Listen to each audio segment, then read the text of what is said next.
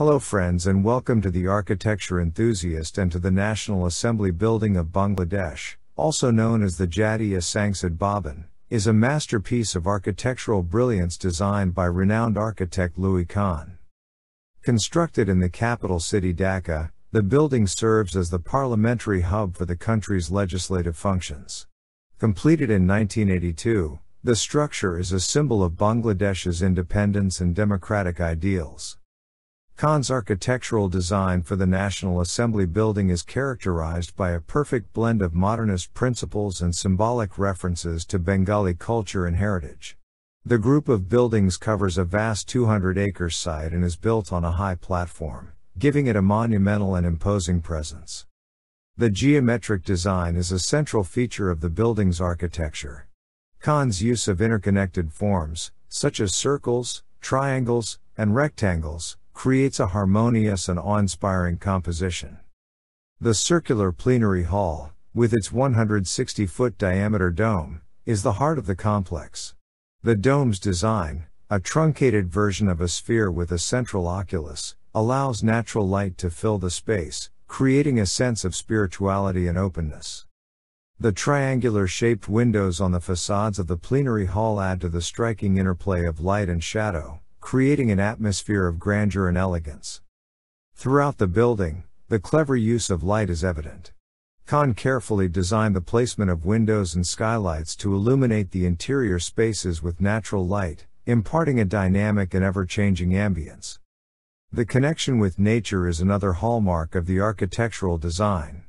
The building is seamlessly integrated with its surroundings, and the presence of water bodies, including a man made lake and reflecting pools, enhances the building's serenity while contributing to passive cooling. Symbolism abounds within the architectural features of the National Assembly building. The circular shape of the plenary hall symbolizes unity and continuity, embodying the spirit of a strong democratic nation. The triangular windows represent the three fundamental principles of democracy government of, by, and for the people. Additionally, the extensive use of local materials, such as red brick and concrete, emphasizes a sense of regional identity and permanence. The interior spaces are thoughtfully planned to accommodate the functional requirements of a parliament while maintaining a dignified and inspiring environment. Long hallways, open air walkways, and courtyards promote circulation and encourage interaction among parliament members and staff, fostering a sense of community and cooperation. The completion of the National Assembly building was not without challenges.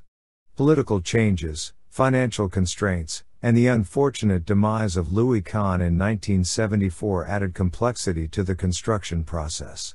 However, the dedication of local architects and engineers, including Rafiq Azam, ensured that Kahn's vision was realized, resulting in an architectural marvel that continues to captivate visitors and scholars alike. In summary, the National Assembly building of Bangladesh stands as a testament to Louis Kahn's visionary design principles and his ability to seamlessly combine modernist aesthetics with symbolic references to the nation's cultural heritage. The architectural features of the building, from its geometric forms and use of light to its connection with nature and emphasis on symbolism, make it a true icon of democracy and a symbol of national pride for Bangladesh.